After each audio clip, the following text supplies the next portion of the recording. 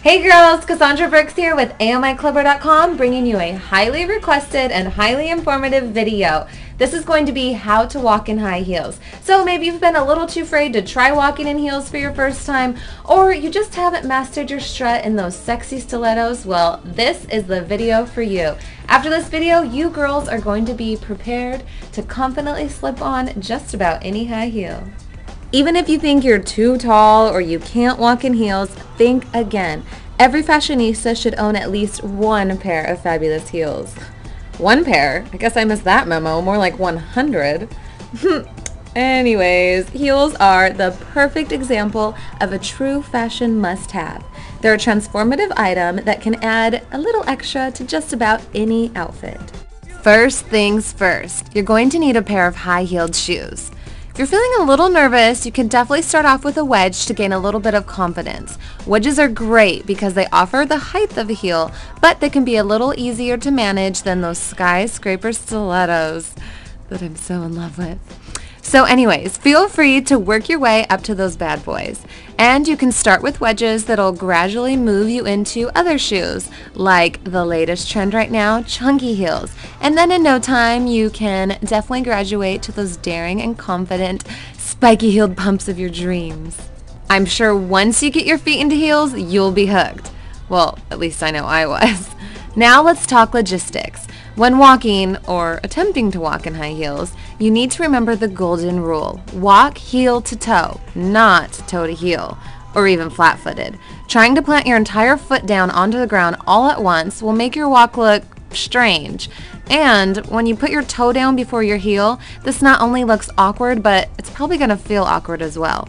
If you're putting your heel down first, immediately followed by your toes, this will look the best and it's actually going to be giving you more balance.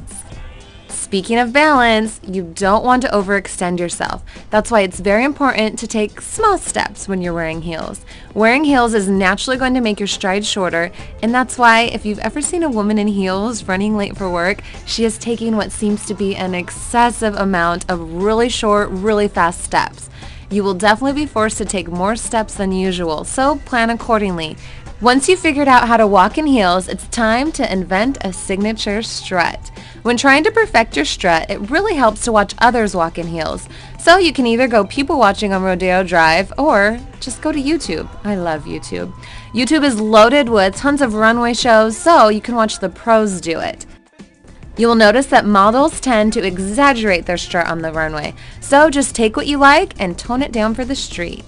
What's really going to make that strut look awesome is walking with one foot in front of the other. And you can actually practice this anywhere that you can see a straight line on the floor. Wood floors, parking lots, basketball courts, they're all great training lines. So you really just want to concentrate on putting one foot down in front of the other. This is going to give you that hip sway that models are known for and guys just drool over. Possibly the most important rule when trying to master walking in heels is one we've all heard for just about everything. Practice makes perfect. Seriously, girls, practice, practice, practice. You're going to be walking on tons of different surfaces when you're trying to learn how to walk in heels, so practice it first. Try walking on slippery floors, concrete, grass even. Ooh, I have a good tip for grass. It's actually kind of hard to walk in heels on grass, but the time may arise where you have to, so make sure you're putting all your weight on your toes. Otherwise, you will be sinking into the grass and you will be ruining those cute stilettos. And I don't want you girls to be afraid about going up and down the stairs in heels. It's actually fairly easy. You want to make sure that you always hold onto the handle when possible. And throw out that rule I said about heel to toe when you're going down the stairs. Here, for safety, it's actually best to plant your entire foot down evenly on each stair as you make your way down. And when you're going back up, you want to try to put the majority of your weight down on your toes first. Sometimes you actually may misjudge a stair, and if you were still walking heel to toe, you would be falling head over heels down the stairs. I hope the tips in this video have given you girls the courage to fall head over heels in love with wearing high heels. Thank you so much for watching, girls. Stay trendy, and I'll see you around.